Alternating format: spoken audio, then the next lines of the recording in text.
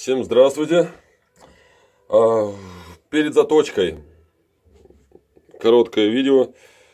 Первое, которым, наверное, будет второе. Надеюсь, что будет сегодня второе присоединено, то есть э, уже заточенных бритв. Надеюсь.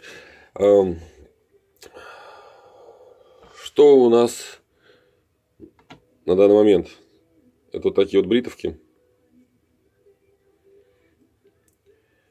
Вот. Собрал я их. Клепки, вот думаю, не знаю, полировать, не полировать. Может, полирну, не выдержу.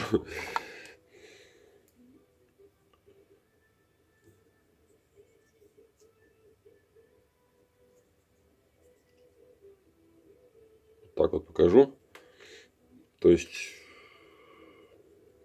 сейчас пару слов об этом я еще хочу сказать. Это вот из кости. Может протру как-то умудрюсь этот. Ну вот, допустим, вот кость. Так в резкости. Вот оно, видите, какие-то такие фигненькие. Я их, конечно, еще немножко заполирую, но до конца не уберется. Вот это натуральный материал, его недостаток. Но, с другой стороны, его достаток в том, что он смотрится четко и жесткий, прям как стекло.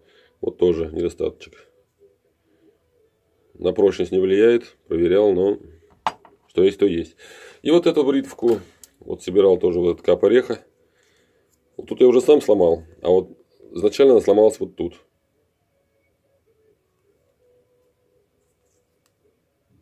Вот так вот.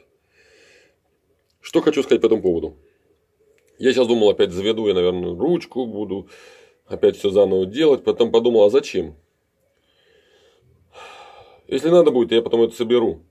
Вообще проблем нет. А во-вторых, э, вторая причина, почему я решил не собирать сейчас ее заново, нее заготавливать э, оправу, то есть это, а, потому что я хочу ее клинком выложить на сайте. Такого клинка на сайте еще нет. Пускай будет. А потом уже посмотрим, пригодится он кому-то, или я его соберу в бритву. Вот так вот. Так, еще, да, пару слов я хотел сказать, что по поводу вот, оправ, то есть эм,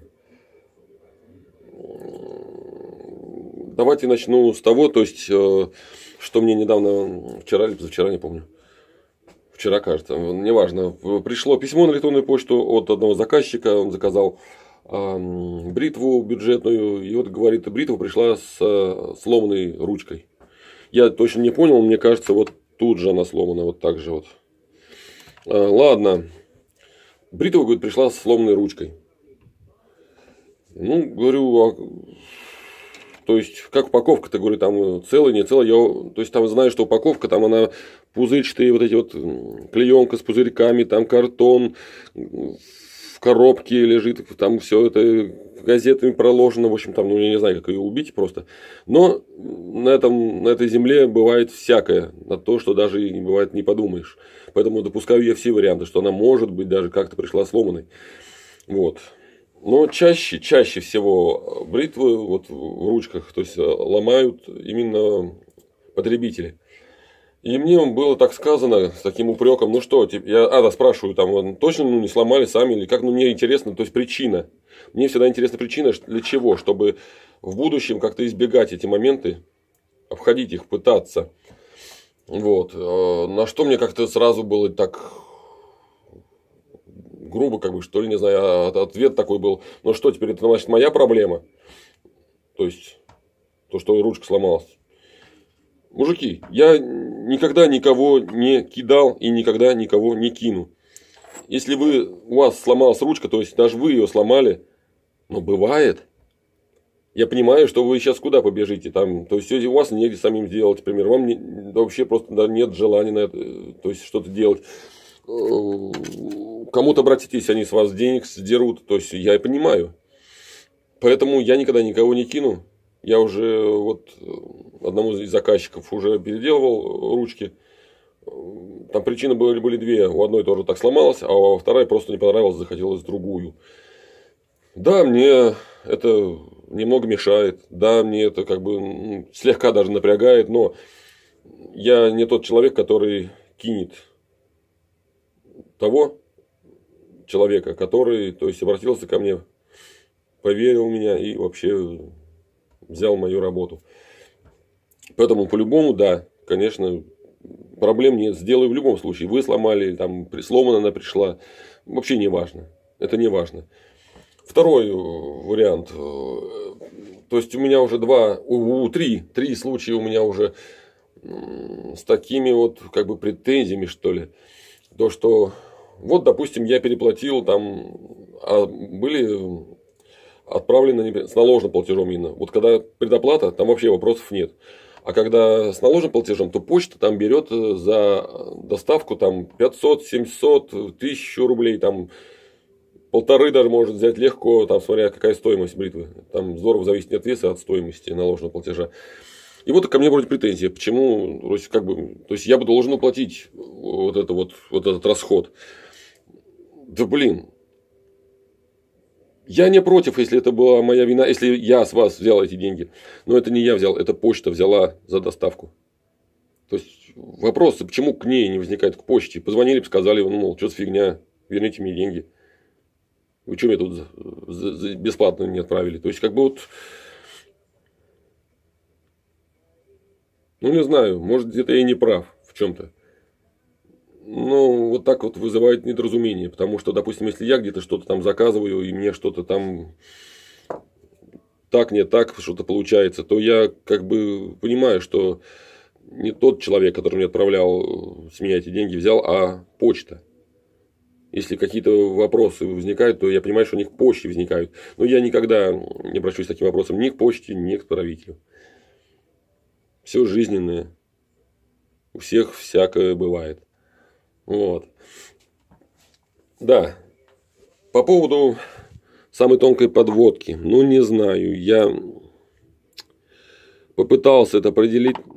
Они какие-то все какие-то одинаковые подводки, у всех тонкие. То есть, может, там каких-то там микронах есть разница. Мне показалось, что вот тут вот это тот самый вариант. И поэтому собрал вот ее костяную оправу. Это тоже собрал в костяную, но я не знаю. Вот честно сказать, я не знаю. Я не получилось определить. Тем более я там уже рассказывал, что я оставляю, то есть вот тут вот легкое такое, то есть утолщение на самой прям кромочке, для того, чтобы вводить было острие, то есть более доступно это было.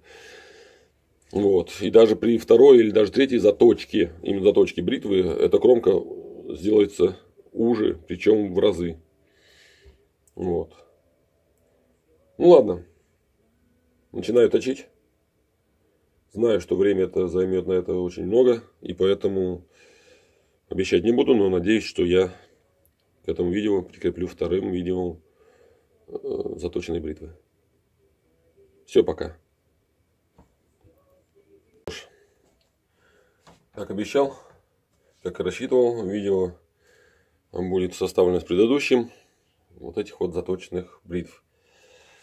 Бритвы заточились, отлично заточились. А... Сразу хочу сказать, что удивило то, что когда еще вот так вот лежали отдельно клинки, а, один человек, не буду сейчас ни, ни имен говорить, ничего, не любитель этого дела, вот. То есть, посмотрел на эти клинки, просто посмотрел через вот в этот монитор и как бы и определил самую тонкую подводку. Может, угадал, конечно, я не знаю. Но вот она. То есть, как раз та самая бритовка, которую, о которой шел разговор. Самая тонкая подводка. Вуаля! Давайте покажу, что получилось.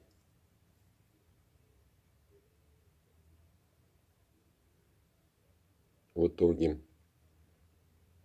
Он все-таки заусенчик-то и на кончике. Думаю, что на там волосок-то не очень рубит. Ну, я зачастую вот этот вот остаток заусенца оставляю пользователю. Спасибо мне за это не скажут, конечно. Ну, сейчас махну на ремни ради этого чтобы просто было.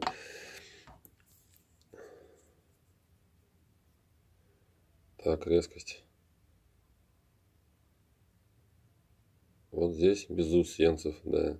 Все пошибал. Сейчас все-таки на то я махаю еще на ремешке. Раз двадцать. Ай, чуть не спанул. Это вот заточенные уже бритвы. Вот это та самая с самой тонкой подводкой. Не зря на нее косточку поставили. Ох, не зря. Но я еще раз повторюсь, что самая тонкость подводки, она впереди. А, вот заусенчики оставил. Вон, видите, наверное, блеск. Так. Ага, вижу. Сейчас тоже на ремешок добить, как говорится. Слово неподходящее, но народное. Ловись. О. Еще одна бритвка. У них, в принципе, подводки всех одинаковые, в принципе. Но такое микро различие есть. Вот у этой вот явно чуть толще, чем вот у этой бритвы. Вот с этим вообще даже уже не вспомню, как она там. Да, еще раз хочу повториться, что по поводу ширины вот этой линии заточки. Сейчас. Я уже как-то показывал, говорил, как я затачиваю. Ой, как я подводку делаю, затачиваю. О чем я уже. Как тонко заточенная была, я поднажал. Вот так, допустим.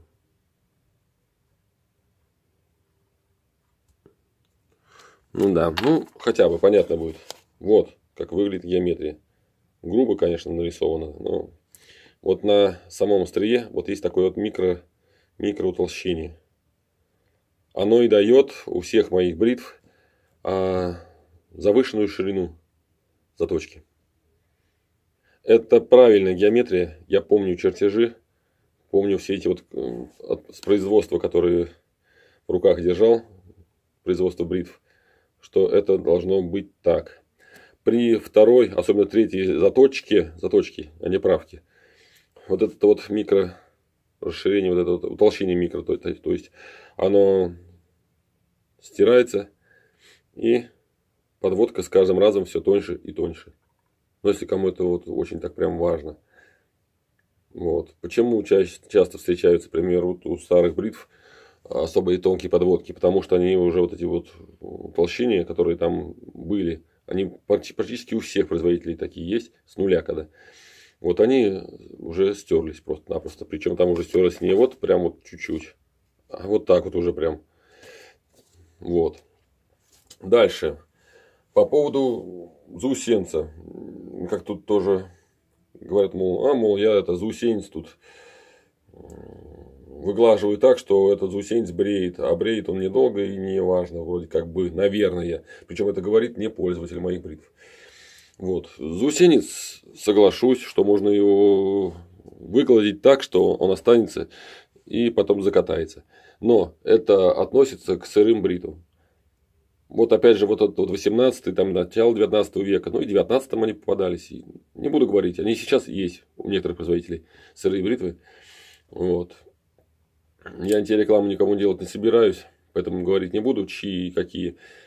Вот. Но вот там как раз именно вот об этом говорится. Просто чтобы заусенец э, скрошился, а он должен скрошиться, прям отвалиться, бритва должна иметь твердость там более 60 единиц, как минимум. А желательно вообще 62 минимум, если прямо, чтобы вообще он хорошо крошился. Если он не крошится, да, его правильно можно выгладить он застрится, этот заусенец, но потом закатается при бритье. Поэтому к закаленным бритвам этот момент вообще никак не относится. Закаленные бритвы, они от заусенец у них отлетают вот таких, такой твердости. Ну и что ж, сделаю все как обещал. Бритовку я вам напишу по поводу бритвы э, отложил. Остальные Три развешиваю на сайте. Клинок тоже развешиваю на сайте. Вот. Что же меня еще спрашивали-то? А, э, как, чем затачиваю я бритвы, которыми я бреюсь лично сам?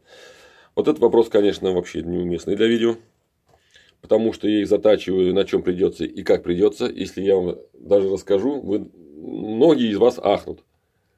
Мне просто по барабану, как я затачиваю, какая там ширина заточки, какая там... Все, в общем, нарушаю 50% всех правил заточки. Но она у меня волосы рубит, рубит. Бреет, бреет. Отлично, причем бреет. Ну, все, мне больше ничего не надо. То есть я могу свою бритву заточить вот на чем попало. Главное, чтобы просто, ну, чтобы она просто была острая и реально. Все. Для вас затачиваю совершенно другим способом. Вот. Руководствуюсь правилами заточки, вот такими уже установленными. Вот. Поэтому это вообще небо и земля. В районе вот сравнения, то есть в смысле сравнения заточек. И я думаю, не стоит даже оглашать, как я затачиваю именно свои бритвы, которые я сам бреюсь. Вот. Но, в принципе, принцип тот же.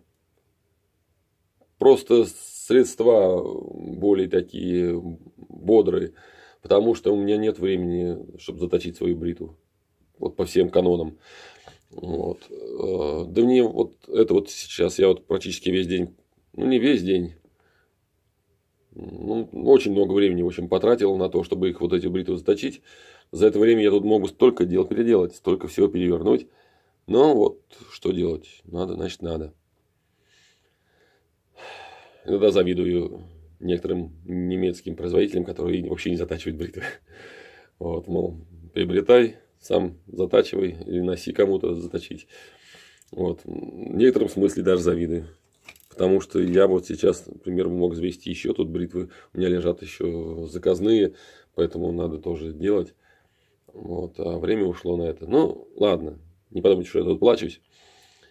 Просто говорю, как есть, факт констатирую и делаю, как должно это быть. Все. В общем-то, все. Да, клепки я не стал полировать. Вот не все. Не стал полировать. Ну, давайте так покажу вблизи. Почему? Потому что затянул не сильно. А, затянул не сильно, побоялся, что может что-то лопнуть, особенно вот по кости. Она не любит вообще такой хорошей затяжки. Но, то есть, вот, свободного хода нет. То есть, она сама не падает. Но очень легкий ход. Но вот, то есть, она сама не будет закрываться. Но мало ли, кому-то захочется ее, а вот эта маленькая закрывается, и стрясти. Нет, тоже не особо. Но она фиксируется эрлом в оправе. Вот сейчас. Вот здесь она чуть-чуть имеет упор. Вот как бы уперлась, потом хоп. Все, она уже никогда не откроется, пока вы сами не откроете. То есть оставил вот этот э, разбег для подтяжки. Может быть, она вам пригодится, может быть, нет, не знаю. Что показываю, мутно. Угу. Вот то же самое. Вон она вроде пытается, да. Вот слегка сдвинулась. То же самое. Вот здесь она вот притормаживает и дальше захлапывается, закрывается. Тут микро, микро. Нет, не откроется. Тут вот тоже. Вот здесь тормознуло, защелкнулось. Вот как-то так все это работает. Вроде все рассказал. Вроде все показал. Да, пожалуй, да. Вот на этом, думаю, точно все. И что ж, сейчас пойду тут еще сделаю часика два тут некоторые дела. И направлюсь уже ближе к компьютеру, чтобы вот это все на сайт э, начинать подвешивать, там фоткать. Может, видео сниму. Видно будет. Все. Спасибо за внимание. Всего доброго вам. До новых встреч. Спишемся. Увидимся.